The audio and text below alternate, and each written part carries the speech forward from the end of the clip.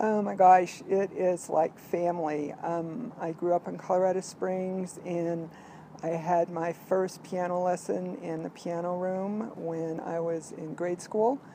And all through high school and college, when I was home or would come home from school, I would always come down here and wander the rooms. It was just so soothing. It was cheap therapy to get rid of stress to get rid of anger, anything. I mean, to come to the Fine Arts Center is absolutely the best thing there is, and everybody should be a member.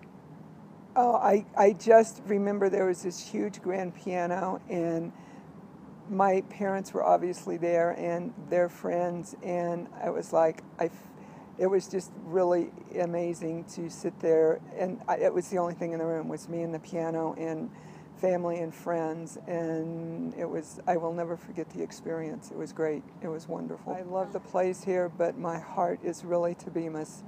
Um, I've taken pottery for years, mostly from Jeremiah Hawk.